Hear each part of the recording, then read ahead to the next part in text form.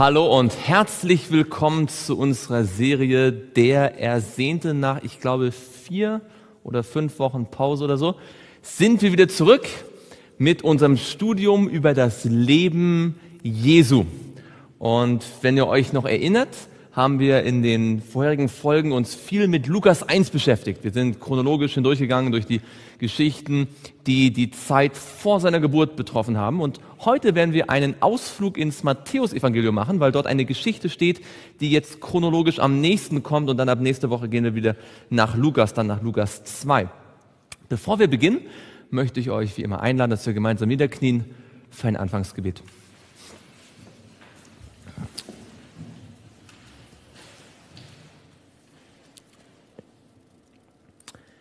Lieber Vater im Himmel, hab Dank für diesen wunderbaren Tag, hab Dank, dass du bei uns bist und dass du uns jeden Tag aufs Neue führst und leitest. Wir danken dir für all die Segnung, die du für uns bereithältst und auch jetzt in, äh, an diesem Abend, dass wir in deinem Wort lesen können, lernen können, neue Dinge verstehen dürfen und alte uns wieder ins Gedächtnis rufen können. Wir möchten dich bitten, dass du mit deinem Heiligen Geist anwesend bist und dass wir verstehen, was du uns heute sagen möchtest. Im Namen Jesu beten wir dies. Amen. Lass uns aufschlagen Matthäus Kapitel 1. Matthäus Kapitel 1. Ähm, wir haben, wie gesagt, ja im Lukas-Evangelium äh, das ganze erste Kapitel hindurch gearbeitet und wir waren stehen geblieben. Weiß jemand noch, was so das, das letzte war, was wir gemacht haben vor der vier Wochen Pause? Das Ende vom Lukas-Evangelium, das stimmt. Aber was war die, diese letzte Geschichte oder diese, dieser letzte Abschnitt, den wir betrachtet haben? Kann sich jemand noch erinnern? Der Lobgesang des Zacharias, ja, der Johannes der Täufer war geboren worden, er ist dann beschnitten worden, hat seinen Namen bekommen, Johannes, und dann äh, hat Zacharias diesen Lobgesang, diese Weissagung, diese Prophezeiung ausgesprochen über den kommenden Messias und die Rolle von Johannes. Und wir hatten gesehen, dass kurz vor der äh, Geburt von Johannes die Maria wieder zurückgekehrt ist an ihren eigentlichen Heimatort. Und der war was für ein Heimatort? Wo ist sie wohnhaft gewesen? In Nazareth, genau. Sie war, weiß jemand noch, wie lange sie ungefähr bei der Elisabeth gewesen war? Drei Monate waren es ungefähr, weil die Elisabeth war ja schon im sechsten Monat schwanger, als sie gekommen ist. Das waren drei Monate. Und jetzt ungefähr so nach, und, und in diese Zeit hinein, man kann jetzt nicht ganz genau sagen, ob das, was wir jetzt lesen, direkt nach der Weissagung von Zacharias gewesen ist oder etwa zur gleichen Zeit. Jedenfalls sind wir jetzt in Matthäus 1 und da berichtet Matthäus etwas, was Lukas nicht erwähnt. Ihr wisst ja, der Lukas, der erzählt alles aus der Perspektive von Maria. Ja, das Geschlechtsregister ist das Geschlechtsregister von Maria und all die Geschichten sind immer mit Maria im Zentrum und Matthäus, der kümmert sich mehr um den Josef. Und so sehen wir jetzt die Geschichte aus der Perspektive von Josef, der noch nicht so viel bisher beteiligt gewesen ist. Ähm, fangen wir mal an in Matthäus 1, Vers 18. Die Geburt Jesu Christi aber geschah auf diese Weise. Als nämlich seine Mutter Maria mit Josef verlobt war, noch ehe sie zusammengekommen waren, erwies es sich, dass sie vom Heiligen Geist schwanger geworden war. Also das ist die erste Geschichte, die Matthäus erzählt. Ja, vorher haben wir nur das Geschlechtsregister, das von Abraham bis zu Josef geht. Und dann fängt es jetzt an über die Geburt Jesu allgemein. Das ist noch nicht die Geburtsgeschichte, aber die ja, der Beginn davon. Übrigens, das Wort Geburt auf Griechisch ist das Wort Genesis. Kennt ihr das? Genesis, so wird auch das erste Buch Mose bezeichnet, der Ursprung, ja, der, der Anfang. Und das ist jetzt hier der, der Anfang aus der Perspektive von Matthäus. Und wie gesagt, sein Fokus liegt auf Josef und der war mit Maria in einer Beziehung. Jetzt, was war der Beziehungsstatus zwischen Maria und Josef? Sie waren verlobt. Ganz genau, wir werden gleich noch deutlich sehen, was das im Einzelnen bedeutet hat. Und sie waren, wie es sehr deutlich heißt, noch nicht zusammengekommen. Und doch heißt es, es erwies sich, dass sie vom Heiligen Geist schwanger geworden war. Ja, wie hat sich denn das erwiesen? Was meint ihr?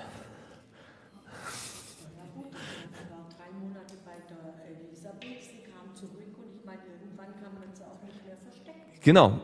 Das heißt also, es lohnt sich hier so ein bisschen mal in die, in die Situation des Josef sich hineinzuversetzen. Der war ja schon einige Zeit mit ihr verlobt. Ja, wir lesen, lesen schon in Lukas 1, als die Maria den Engel trifft, dass sie verlobt gewesen ist mit Josef. Und jetzt ist die Maria weg. Ja, drei Monate. Und sie kommt wieder und es erweist sich, ja, ihr, ihr Bauch fängt an sich zu wölben, dass sie schwanger ist. Jetzt, was hat der Josef wahrscheinlich gedacht? Oder was hätte er vielleicht denken können? Ja. Und wir, wir kennen die Geschichte, wie sie ausgeht, aber diese ersten Verse werden gleich deutlich machen, dass er sich tatsächlich nicht ganz so hundertprozentig sicher gewesen ist, was hier passiert ist. Jetzt die Bibel, der Matthäus sagt gleich von Anfang an, klar, sie war schwanger vom Heiligen Geist. Das hatte ja der Engel ihr gesagt. Ja, der Heilige Geist wird dich überschatten, hatten wir gelesen in Lukas 1, Vers 35. Und Gott hatte ja schon seit langen, seit Jahrhunderten verheißen, dass der Messias kommen würde. Übrigens, warum ist das so wichtig, dass der Heilige Geist mit beteiligt war bei der Fleischwerdung Jesu? Hat jemand eine Idee, warum das so entscheidend ist, dass der Heilige Geist hier die, die führende Rolle gehabt hat? Ist derjenige, der auf Erden wirkt? Er ist der, der auf Erden wirkt, ja, okay. Ich meine, es gibt ja manchmal Leute, gerade so in dieser äh, Antitrinitarier-Szene, die dann sagen, der Heilige Geist ist Jesus. Ja? Und dann der Vers zeigt mal wieder, dass das gar nicht sein kann, weil Jesus hat sich nicht selbst gezeugt. Ja? Ähm, der Heilige Geist hat dafür gesorgt, dass Jesus, wie auch immer das genau im Detail gewesen ist, ähm, in diesen Leib von Maria gekommen ist. Und es gibt einen theologischen Grund, den wir durchaus mal anschauen wollen. Lasst mal euren Finger hier drinnen und geht mal mit mir zu Hiob 15.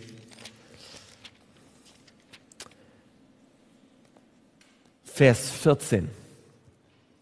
Hiob 15, Vers 14. 15, Vers 14. Hiob 15, Vers 14. Und da wird eine Frage gestellt, die ganz interessant ist.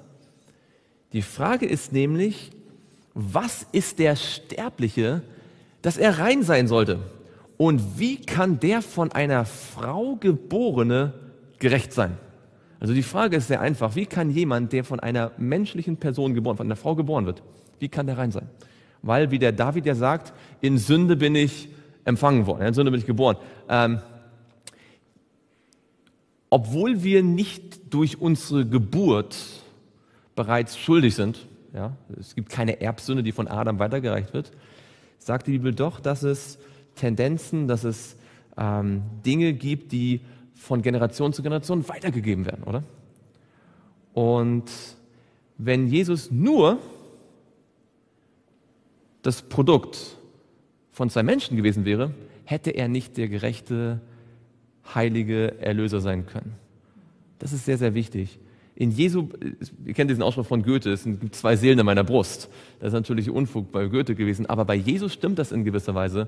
Da gab es das Menschliche in ihm, ja, all das, was er von Maria vererbt bekommen hat, aber dann gab es auch das Göttliche in ihm, ja, ähm, das vom Heiligen Geist. Und das darf man nie aus den Augen verlieren. Man muss beide Seiten immer ausgewogen nebeneinander haben. Und naja, schauen wir mal zurück zu Matthäus und gucken wir jetzt ein bisschen genauer an, was hier, was hier passiert ist. Also, äh, Maria war vom Heiligen Geist schwanger, aber Josef war offensichtlich nicht ganz davon überzeugt. Also ich kann mir vorstellen, dass die Maria es bestimmt erzählt hat, was vorgefallen ist, oder? Also wenn man einen Engel sieht, dann erzählt man bestimmt seinem Verlobten, dass man das getan hat, oder? Und wahrscheinlich hat er das auch gehört und vielleicht auch erstmal geglaubt, aber wir schauen mal in Vers 19, Matthäus 1, Vers 19. Aber Josef, ihr Mann, der gerecht war und sie doch nicht der öffentlichen Schande preisgeben wollte, gedachte sie heimlich zu entlassen. Jetzt, der Vers ist sehr interessant. Beim Lesen, was fällt euch automatisch auf, äh, was ungewöhnlich ist in diesem Vers? Ja? Er war fromm oder gerecht, ja? Und auf der anderen Seite, er wollte sie zwar verlassen, aber er wollte sie, er wollte sie erst ehelichen, er wollte sie nicht in Schande bringen. Ja, also es, es ist schon so ein bisschen so, so ein Widerspruch in sich selber. Also das ist auf jeden Fall, das sind so verschiedene Aspekte, die wir gleich auseinander dividieren müssen, genau, ja? Es steht ihr Mann, habt ihr das gelesen? Ein Vers vorher steht, sie sind verlobt und jetzt steht ihr Mann.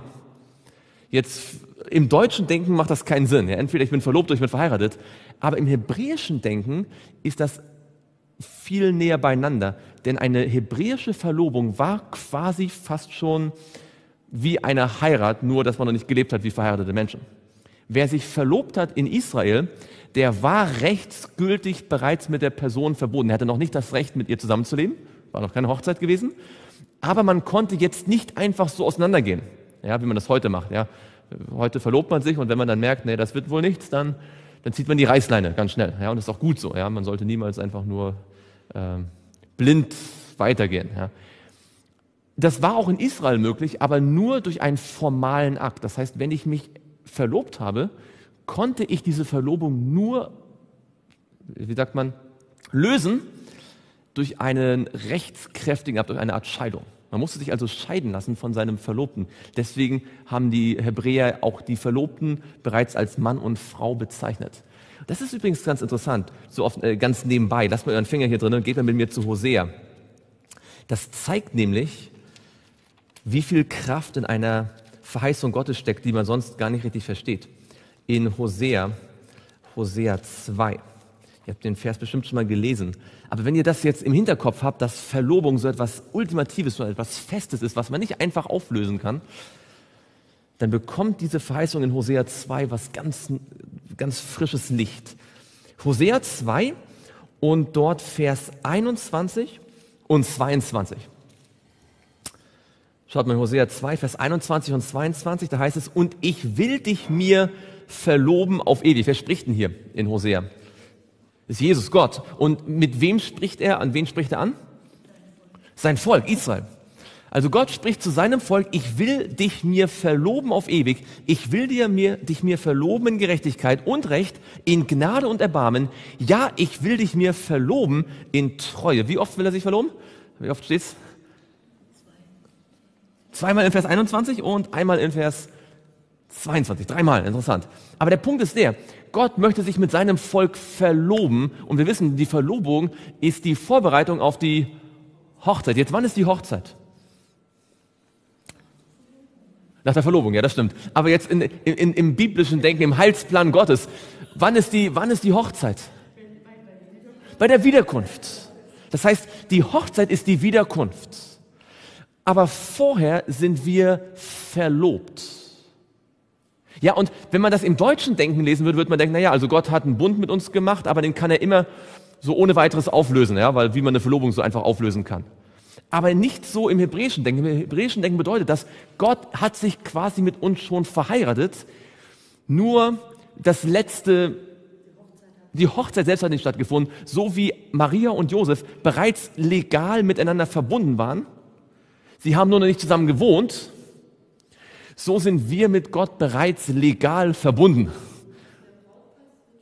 Der Brautpreis ist schon bezahlt, es ist alles schon festgelegt, der, der Vertrag ist gemacht, nur wir wohnen noch nicht mit Gott, weil er noch im Himmel ist und wir auf der Erde.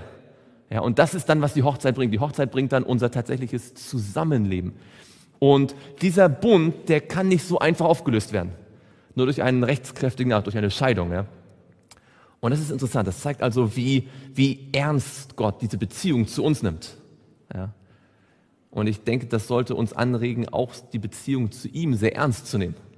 Ja, dass es nicht einfach nur so eine, eine Liebesaffäre ist, sondern etwas, was wirklich Bestand hat. Aber jetzt zurück zu, zu Matthäus. Das nur als kleiner Ausblick ähm, bei diesem Thema Verlobung. Also wir haben gesagt, der, der Josef, der war gerecht. Kennt ihr noch andere Personen in der Bibel, die auch als gerecht bezeichnet werden. Sammeln wir ein bisschen. Noah wird gerecht genannt, ganz explizit, er war gerecht vor Gott. Noch jemand? Daniel? Hm? Hiob? Abraham, ja. Ich weiß nicht, ob Abraham, aber könnte sein, aber Zacharias, er war, war gottesfürchtig, heißt er genau, er war vor. Ähm, Simeon, den haben wir in Lukas 1 gehabt, nicht wahr? Simeon, der im Tempel gewesen ist, Johannes der Täufer wird von Jesus gerecht genannt.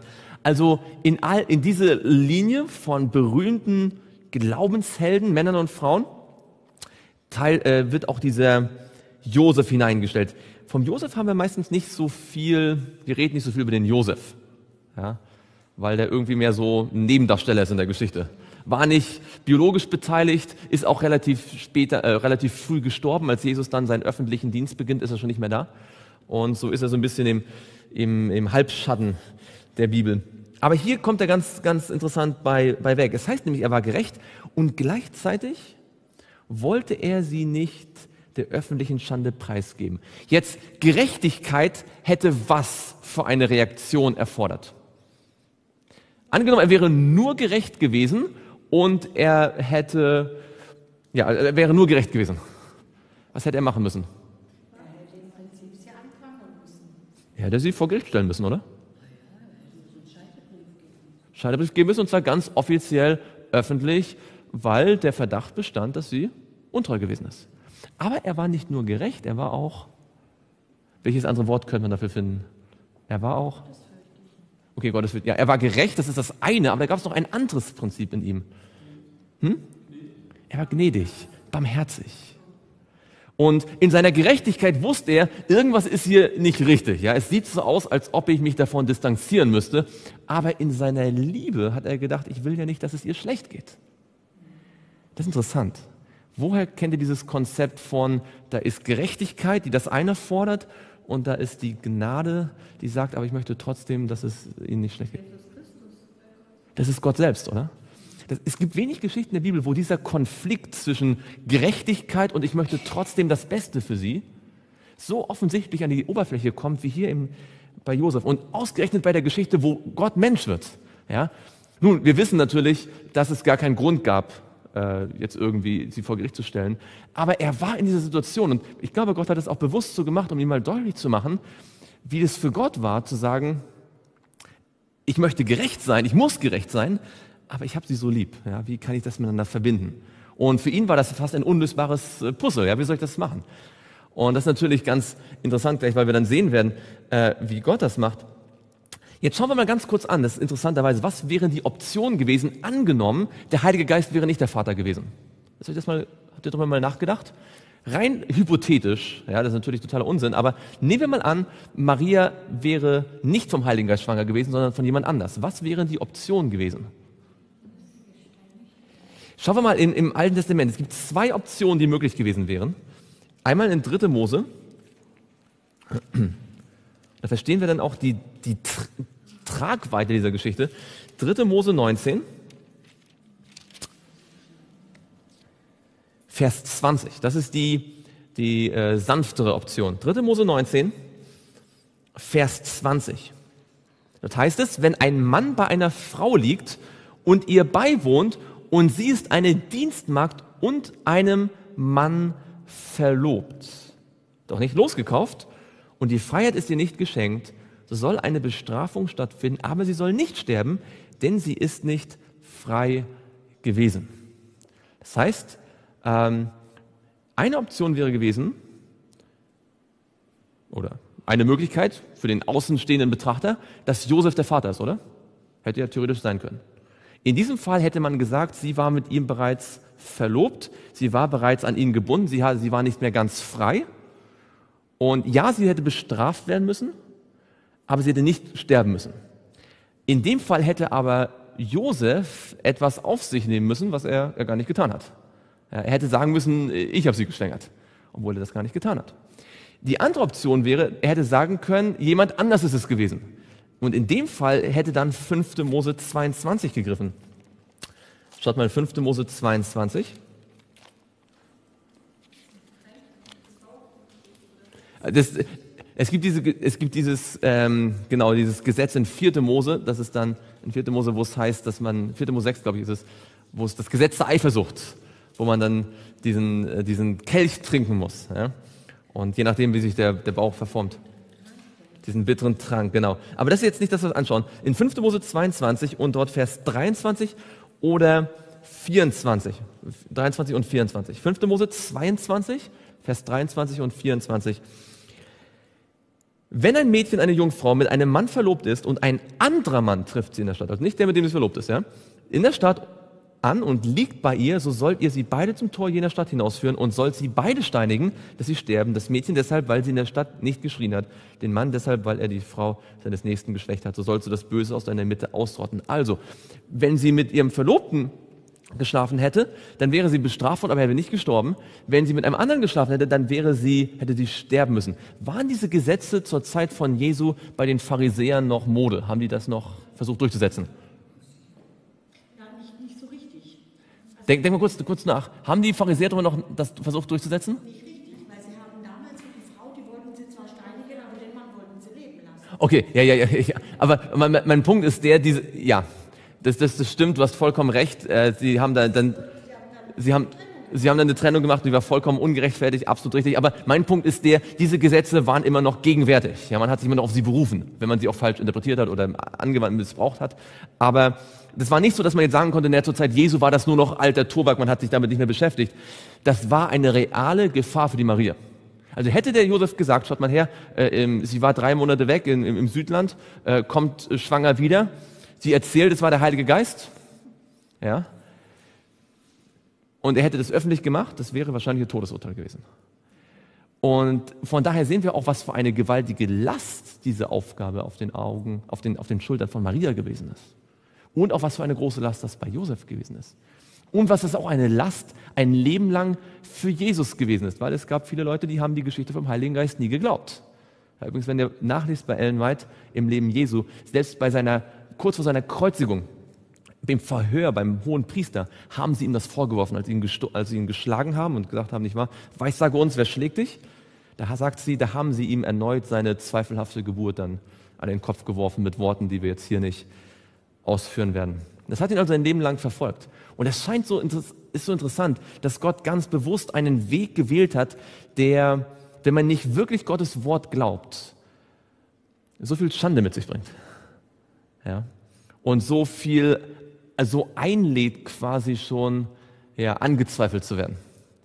Und das zeigt viel von der Demut Gottes auch. Nun, also wie wir gesehen haben, er wollte sie entlassen. Er wollte also eine Scheidung, aber er wollte sie nicht öffentlich, weil er wusste, das könnte ihr Leben kosten. Er wollte also, er hat einen Weg gesucht, die Gerechtigkeit mit der Liebe irgendwie zu verbinden. Nur es war ein menschlicher Weg und der war natürlich nicht gut genug, weil nur Gott ist, Gott ist in der Lage, Gerechtigkeit und Liebe miteinander zu versöhnen. Ja. Ist es nicht interessant, dass in dem Vers finden wir einen Menschen, der versucht, Gerechtigkeit und Gnade zu verbinden?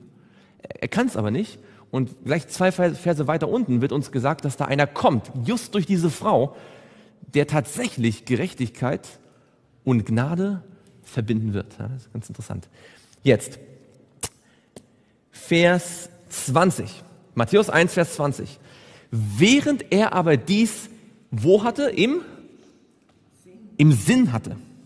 Siehe, da erschien ihm ein Engel des Herrn im Traum, der sprach, Josef, Sohn Davids, scheue dich nicht, Maria, deine Frau, zu dir zu nehmen, denn was in dir gezeugt ist, das ist vom Heiligen Geist. Jetzt, der Vers ist genauso spannend. Was fällt euch auf an diesem Vers? Mehrere Dinge, die wirklich ins Auge stechen.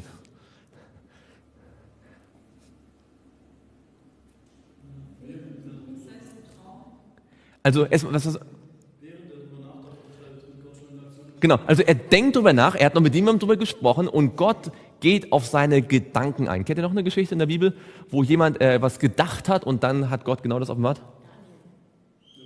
Nebukadnezar, in Daniel, im Buch Daniel. Der Nebukadnezar lag auf dem Bett und hat sich Gedanken gemacht, was kommt in der Zukunft. Die Bibel sagt, er hat sich, er hat, hat sich Gedanken gemacht, nicht wahr?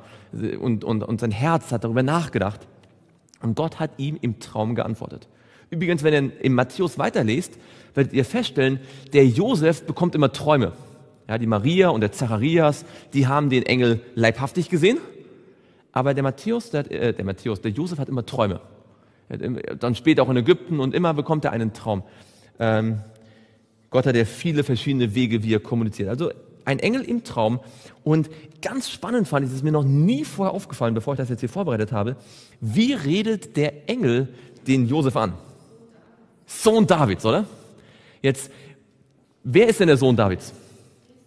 Steht im gleichen Kapitel, oder? Schaut mal ganz vorne in Kapitel 1, Vers 1. Geschlechtsregister Jesu Christi des Sohnes Davids. Und jetzt kommt der Engel und sagt zu Josef, Sohn Davids. Nun, damit wollte er natürlich deutlich machen, du bist der Nachfolger Davids. Du bist in, dieser, in diesem Geschlechtsregister drin, das ja deswegen auch gleich am Anfang hier, hier präsentiert wird. Und auch wenn du nicht der leibliche Vater bist, bist du doch der, also im, im geistlichen Sinne, der, der, der, der Erbe und dein, in dem Fall jetzt Adoptivsohn, ja, den, den Gott dir schenkt, der wird dann der eigentliche Sohn Davids sein. Sohn Davids, scheue dich nicht, Maria als deine Frau zu nehmen. Und das ist ganz interessant, weil es gibt in der Bibel im Alten Testament eine Geschichte, eine Verheißung, eine Prophezeiung, muss ich sagen, wo von der Jungfrauengeburt explizit die Rede ist. Wisst ihr, welche Prophezeiung das ist, wo explizit gesagt wird, dass eine Jungfrau ein Kind haben wird? Jesaja, weiß jemand wo?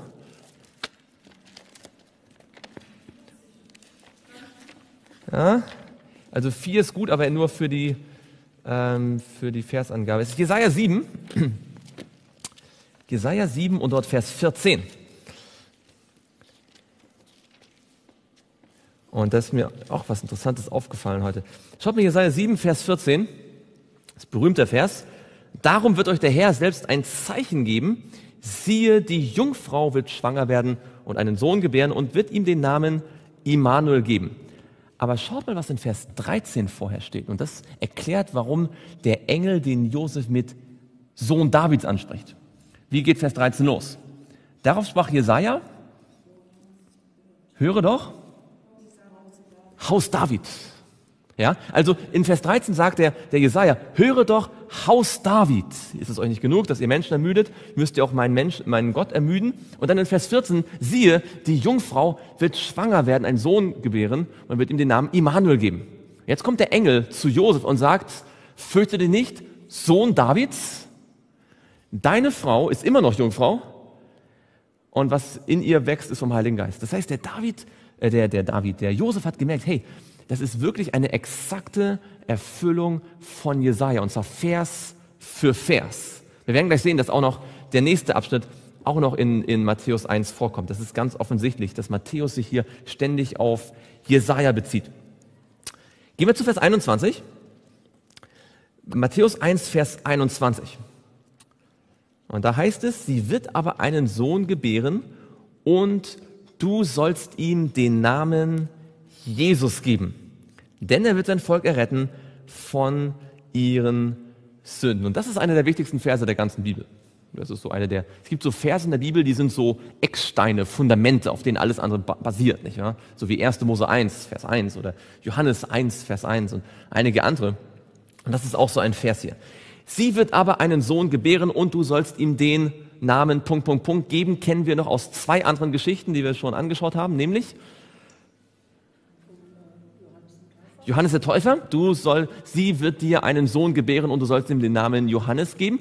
Und das war schon eine Parallele ins Alte Testament, wo jemand die gleichen Worte gehört hat, du sollst, sie wird dir einen Sohn gebären und du sollst ihm den Namen hm? Isaac geben. Genau.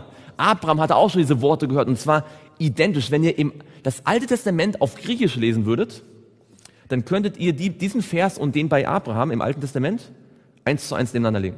Da ist nur der Name anders. Ja? Sie wird ihm einen Sohn gebären, oder sie wird dir einen Sohn gebären und du sollst ihm den Namen Punkt, Punkt, Punkt geben.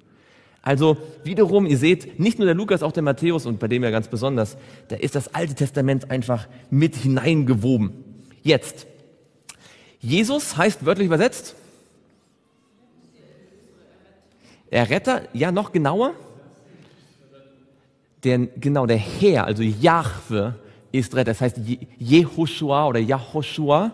Und Ja ist die Kurzform von Jahwe und Hoshua, Hosea, ist Retter. Und in dem Sinne ist es, der Herr ist Retter. Und das kommt interessanterweise auch aus dem Alten Testament, wie eigentlich alles hier im Neuen Testament. Und zwar aus Psalm 130. Wer hätte das gedacht, dass der Name Jesu eigentlich aus einem Psalm kommt? Psalm 130. Schaut mal, Psalm 130 und dort Vers 7.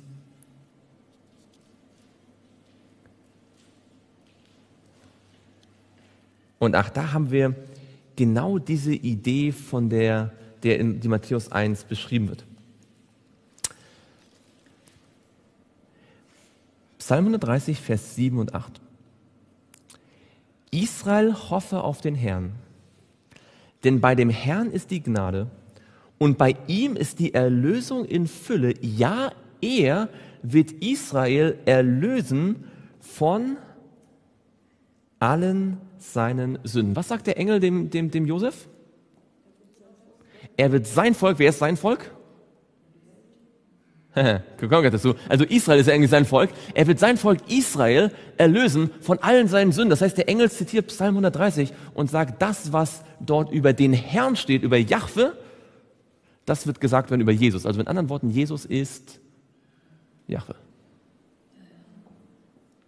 Denn der Herr, er wird Israel erlösen von allen seinen Sünden. Und Jesus und, und, und der Engel sagt dann, dieses Kind, Jesus, wird sein Volk erlösen von allen seinen Sünden. Dann habt ihr es schwarz auf weiß. Jesus muss derselbe sein wie der, der hier JHWH genannt wird. Gehen wir noch zu einem alttestamentlichen Text, und zwar in Daniel 9. Daniel 9 kennt ihr natürlich wie eure Westentasche, nicht wahr? Daniel 9, Vers 24.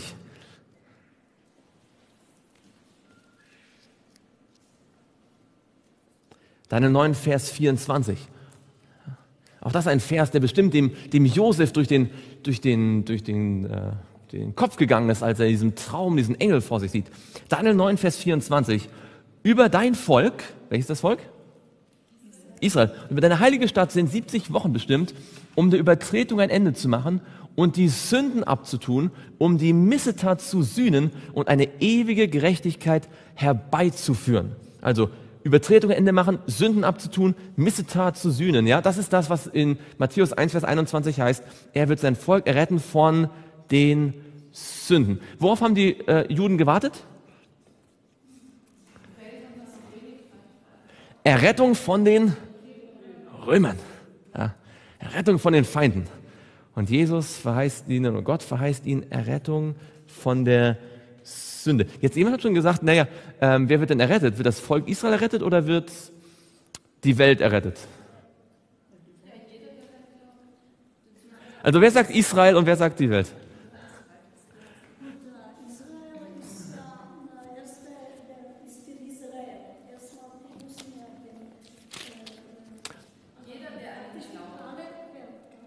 Könnt ihr mir irgendein Bibelvers nennen, wo ganz deutlich wird, dass die, in der ganzen Welt Menschen von Jesus die Sünden weggenommen bekommen können? In Johannes Kapitel 1, Vers 14 ist, glaube ich, dass jeder ein Kind Gottes sein kann. Das ist Johannes 1, Vers äh, 12. Ja. Also, dass, dass er uns ein Anrecht gegeben hat, Kind Gottes zu werden. Nicht die aus dem, nicht aus dem Fleisch geboren sind oder so. Ja, das stimmt schon. Johannes 1, Vers 29 sagt, Johannes sagt, siehe, das Lamm Gottes Weltsünde trägt oder hinwegnimmt. Aber trotzdem sagt Matthäus, er wird sein Volk von den Sünden retten. Was heißt denn das? Jetzt, wenn Matthäus 1 recht hat und Johannes 1 recht hat, also Matthäus 1, Vers 21 sagt, er wird sein Volk, also Israel, retten von seinen Sünden und Johannes 1, Vers 29 sagt, ähm, dass er die Sünden der Welt trägt, was bedeutet das? Dass Israel sich auf die ganze Welt bezieht. Oder? Jeder, der seine Sünden vergeben bekommt, ist Israel. Ja? Das ist ja der ganze Sinn der israelitischen Idee. Israel sind doch diejenigen, die überwinden, Jakob. Ja? Diejenigen, die sich an Christus festhalten, auch wenn der gehen möchte. Ja? Die, die, die bitten, segne mich. Ja? Oder ich lasse dich nicht los, es sei denn, du segnest mich. Und das heißt, Israel hier, und das ist ja das, was die Juden falsch verstanden haben, sie haben immer Israel rein national gedacht und deswegen das Königreich Gottes nicht verstanden.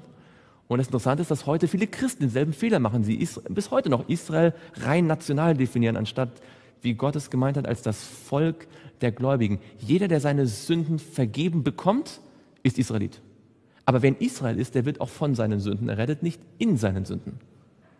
Das ist ein großer Unterschied. Das heißt ganz deutlich, er wird sein Volk erretten von ihren Sünden. Ähm, schauen wir mal zwei, drei Texte dazu an. Epheser 5.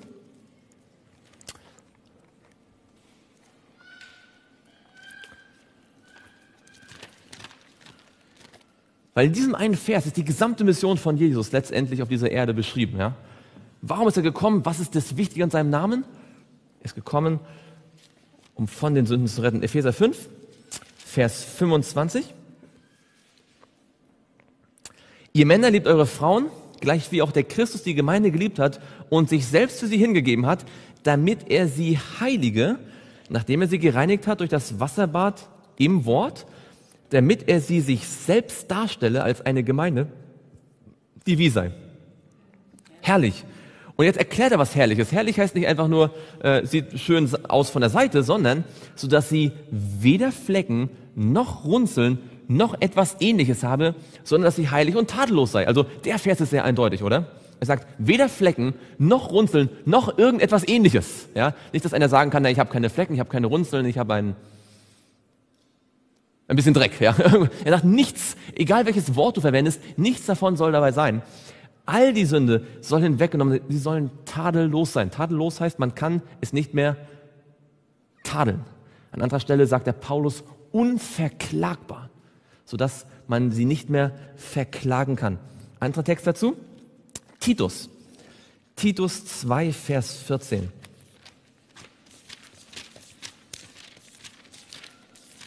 Titus 2, Vers 14. Das ist in diesem Kontext von diesem äh, Wiederkunftsparagraphen hier in Titus 2.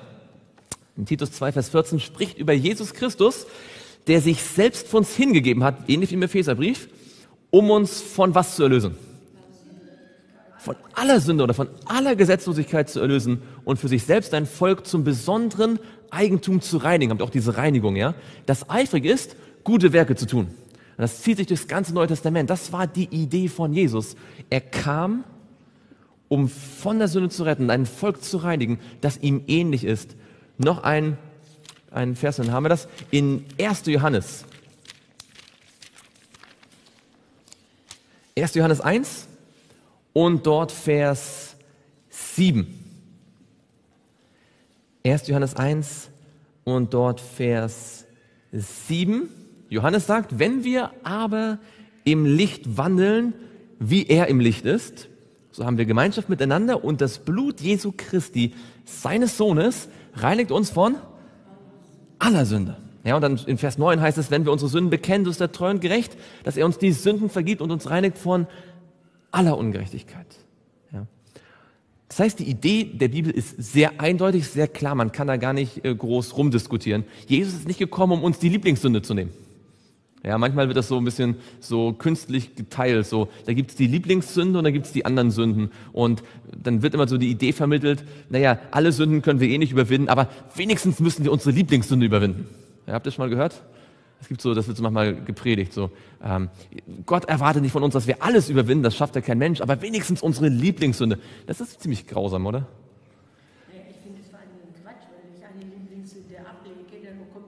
Ja, erstens das, dann wird also was anderes Lieblingssünde. Und warum ist die Lieblingssünde die Lieblingssünde? Weil wir sie am öftesten, also am, am meisten tun, deswegen am schwächsten dagegen angehen können, oder?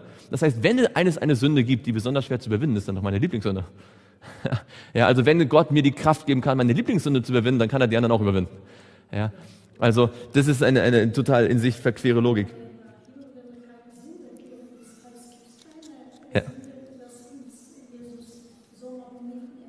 Ja, absolut. Jetzt, ähm, zurück zu, zu Matthäus. Und interessant übrigens noch ganz kurz nebenbei.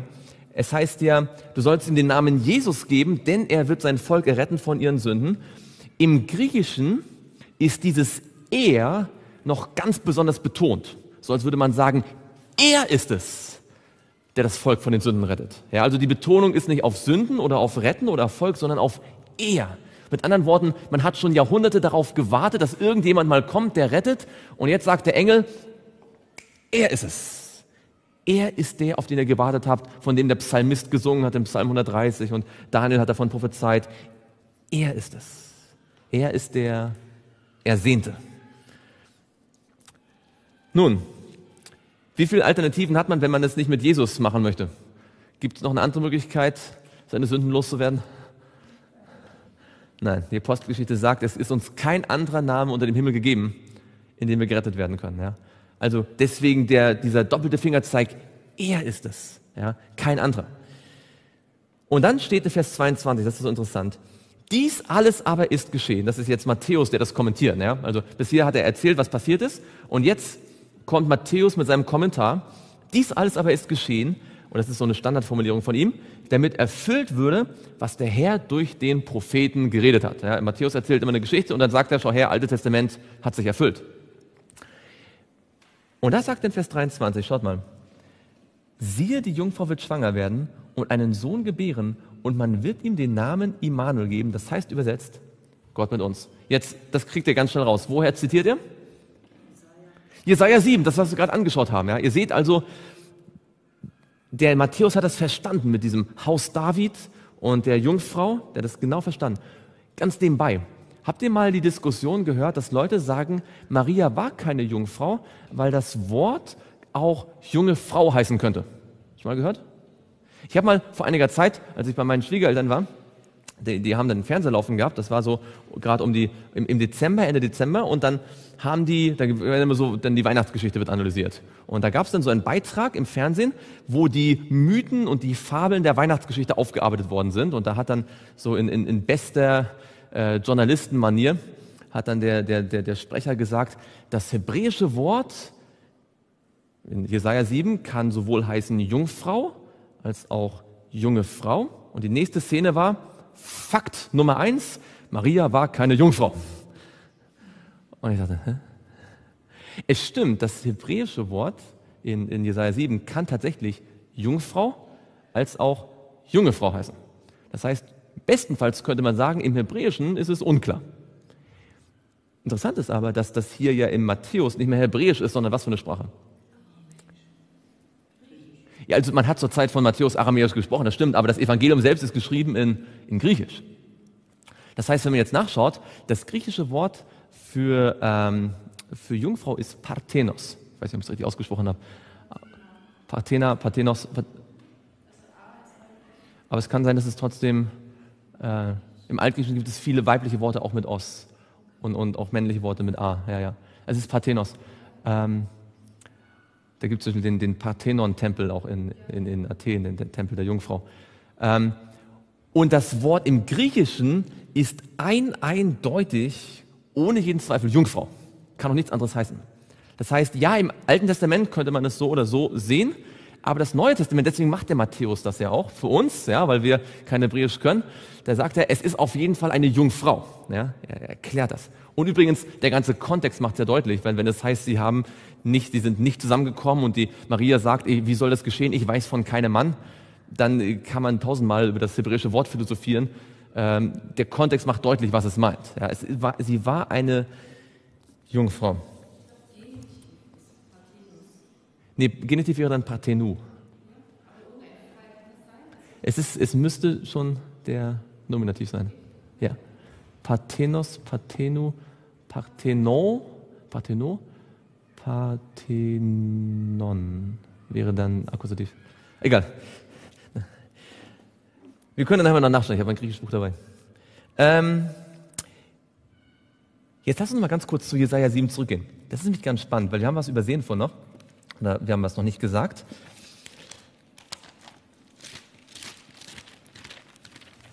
Jesaja 7. Weiß jemand von euch, was der Kontext, der größere Kontext von Jesaja 7 ist? Worum geht es denn da eigentlich? Äh, weil wir lesen über diesen einen Vers, ja, die, die, Gott wird dir ein Zeichen geben, äh, die Jungfrau wird schwanger werden, aber das ist ja in eine bestimmte Zeit hineingesprochen. Was ist denn da gerade passiert drumherum?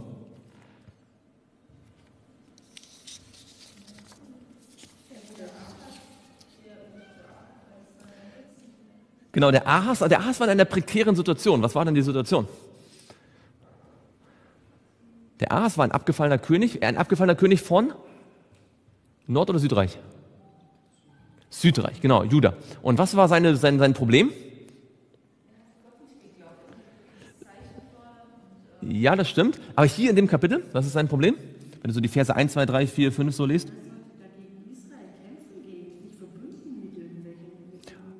Ja, nicht so richtig ganz. Ähm, andere haben sich gegen ihn verbündet. Das Nordreich Israel und die mächtigen Aramäer haben sich gegen Juda verbündet und haben jetzt angefangen, Krieg gegen die zu führen oder, oder äh, wollten sie jetzt ähm, wollten Jerusalem erobern. Ja? Das heißt, der Ahas ist in einer Verteidigungslage. Ja? Er wird angegriffen. Er befindet sich im Krieg. Und in dieser Situation, er ist im Krieg, er wird angegriffen und zwar von einem übermächtigen Feind. Ja? Das Nordreich hat mehr Stämme als das Südreich und die sind außerdem verbunden mit den Aramäern. Ja? Übermächtiger Feind, er wird angegriffen, er selbst ist schwach, er selbst ist abgefallen. Und in der Situation sagt der, der, der, der Jesaja zu Ahas in Vers 11, er bitte ein Zeichen von dem Herrn, deinem Gott, er bitte es in der Tiefe oder droben in der Höhe. Und was sagt Ahas in Vers 12? Ich will es sicher bitten, damit ich den Herrn nicht versuche. Mit anderen Worten, ich will nicht zu, ich will nicht zu, mich nicht zu weit aus dem Fenster lehnen. Ja, er ist im Kampf, er, er wird angegriffen von einem übermächtigen Feind und Gott sagt, hey, wie soll ich dir helfen? Ich will alles für dich tun. Und er sagt, ich will nicht zu extrem werden. Ja? Bloß nicht mich zu weit aus dem Fenster lehnen. Und dann sagt Gott, weißt du was? Dann kommt der berühmte Vers, ist es euch nicht genug, Menschen zu ermüden? Ihr ermüdet mich. Ja, ich könnte viel mehr für euch tun, aber ihr wollt gar nicht. Ihr wollt immer weiter kämpfen. Ja? Und dann sagte er, ich will eine, eine, eine Jungfrau schwanger werden lassen und sie wird das Kind gebären, wird Immanuel heißen. Jetzt, das hat eine geistliche Bedeutung. Denn wo, gibt, sind wir nicht auch in derselben Situation wie der Ahas? Kämpfen wir nicht auch in einem geistlichen Krieg gegen einen übermächtigen Feind, den wir nicht alleine besiegen können? Und Gott kommt so oft zu uns und sagt, hey, ich könnte dir den Sieg schenken. Und was sagen wir dann? Na, ich will jetzt nicht zu fanatisch werden. Ich will jetzt nicht gleich glauben, dass ich alles überwinden kann, oder? Ganz oft machen wir dasselbe wie der Ahas, nur auf geistlicher Ebene. Gott sagt, ich will dich von allen deinen Sünden erlösen. Und wir sagen, na ja, wie soll das denn gehen? Oder, wir, oder Gott sagt, ich, ich kann dir das nehmen, auch wenn du das 35 Jahre lang gemacht hast. Du kannst damit aufhören. Und wir sagen, na ja, hm, weiß nicht so recht. Ja. Und Gott sagt, ihr ermüdet mich. Ich könnte euch viel mehr helfen. Mit anderen Worten, ihr Lieben, wenn Menschen sagen, na ja, irgendwie, Gott hat zwar verheißen in seinem Wort, dass er uns von allen Sünden errettet, aber so richtig schafft er das auch nicht. Wir werden immer sündigen bis zur Wiederkunft und das, das ist so in uns eingebaut. Dann sagt Gott im Himmel, ich werde müde. Ja, ich, ich könnte viel mehr für euch tun, aber äh, ihr wollt ja gar nicht. Und wir denken dann immer, ja, wir wollen ja nicht zu extrem werden. Wir wollen ja nicht irgendwie zu, ich weiß nicht was, ja. Ganz interessant. Und das ist der, eigentlich der Kontext von der Geschichte, die dann Matthäus aufgreift und sagt, dieses Kind ist geboren worden, um sein Volk, alle, die sich Israeliten nennen, ja, buchstäblich oder geistlich, von ihren Sünden zu retten. Ja. Lasst uns bloß nicht zu dem Punkt kommen, dass wir Gott ermüden, oder? Dass wenn Gott bereitsteht, ein Wunder für uns zu tun, dass wir sagen, nee, nee, das wollen wir nicht, das ist zu extrem. Gott ist nie zu extrem. Ja. Gott ist immer außergewöhnlich, aber nie zu extrem mit dem, was er uns anbietet. Übrigens, habt ihr gewusst, dass nach dieser Prophezeiung, nachdem der Satan gehört hat, der Satan hat ja vorher nicht genau gewusst, wie, der, wie das kommen wird mit dem Samen und der Frau und wie das jetzt genau funktioniert. Er hat bestimmt sich überlegt, wie soll das geschehen? Alle Menschen, die bisher geboren worden sind, sind immer, da war ein Mann und eine Frau. Und wie kann Gott denn dafür sorgen, dass da einer kommt, der jetzt mich zertritt, ja? Und als der Satan diese Prophezeiung hört, dass eine Jungfrau schwanger wird, der wird sich wahrscheinlich am Kopf gekratzt haben, wie das geht, ja?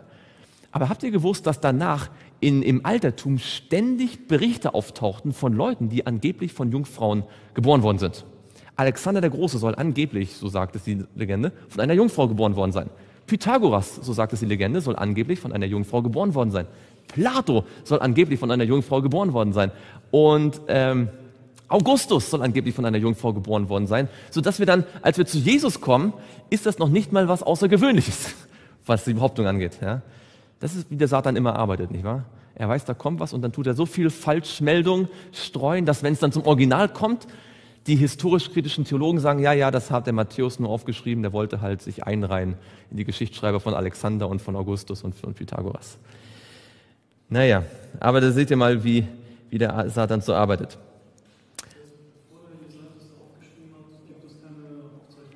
da steht, also es gibt nirgends in der Bibel ein genauer hin, also explizit, wie das jetzt, wie der Messias, dass er kommen würde, der Messias, ist klar. Aber nirgendwo, zumindest habe ich noch keine Stelle gefunden, mit einer, dass es eine Jungfrau sein wird und, weil das, äh, Gott hat ja den Plan ja Stück für Stück immer mehr offenbart, ja.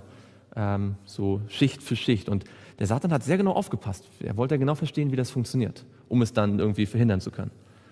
Und, äh, aber er hat es nicht verhindern können hat ähm, vielleicht sogar, vielleicht hat er sogar den, wir wissen es nicht genau, die Bibel sagt das nicht, aber vielleicht war es ja auch sein Wirken, dass er versucht hat, vielleicht irgendwie die, die Maria ähm, öffentlich bloßzustellen. Ja? Vielleicht hat er gehofft, dass sie getötet wird.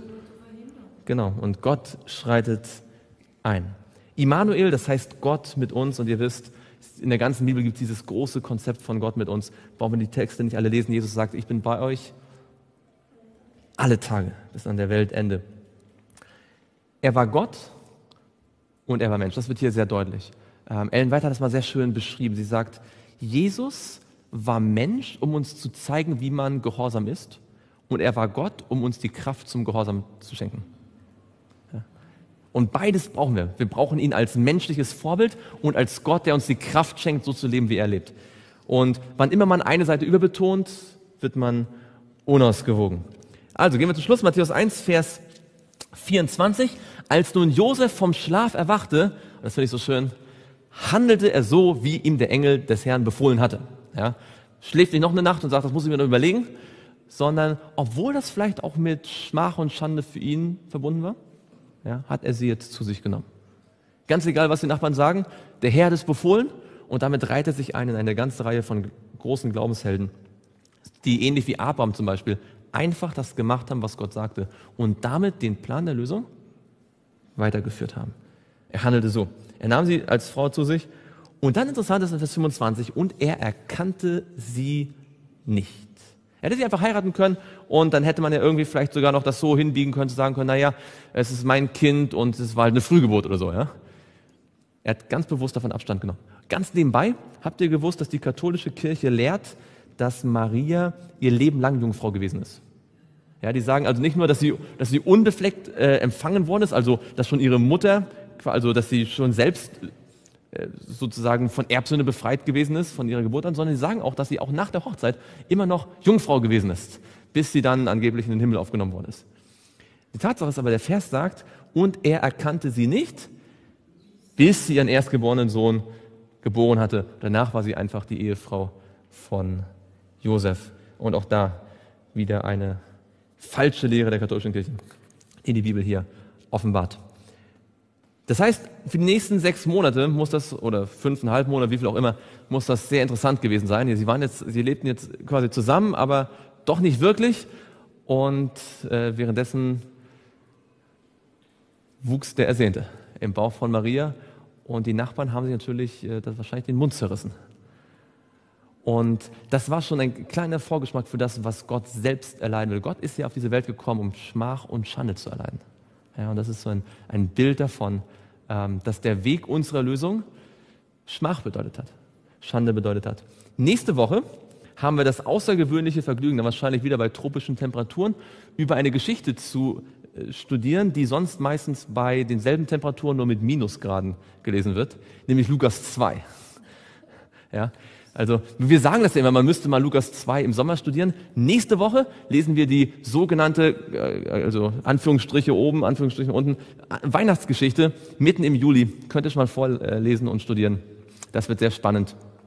Und äh, dann werden wir sehen, wie der Ersehnte tatsächlich auf die Welt gekommen ist. Und auch dort wird es wieder viele spannende Dinge zu entdecken geben. Für heute können wir etwas lernen, nämlich wir lernen von Josef, dass wenn Gott spricht, wir einfach handeln. Und auch wenn es für uns vielleicht bedeutet, dass wir uns in eine Situation begeben, die andere missverstehen können. Ja. Vielleicht sogar unberechtigterweise Schmach und Schande auf uns nehmen. Aber was war das denn verglichen, verglichen mit dem, was Jesus auf sich genommen hat? Ohne dass er dafür was konnte, nicht wahr? Wollen noch gemeinsam niederknien und beten?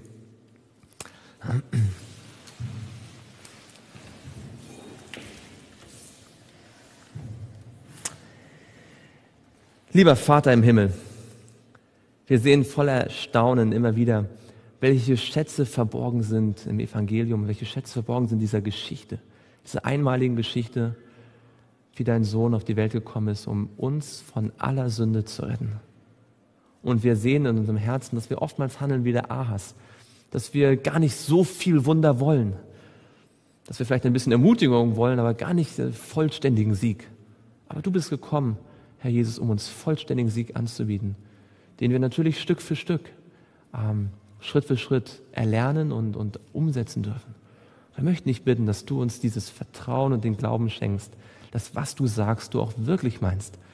Und dass wenn du all diesen Weg gekommen bist und all diese Schmach auf dich genommen hast, dass du uns dann auch wirklich auch alles schenken wirst, was du uns anbietest.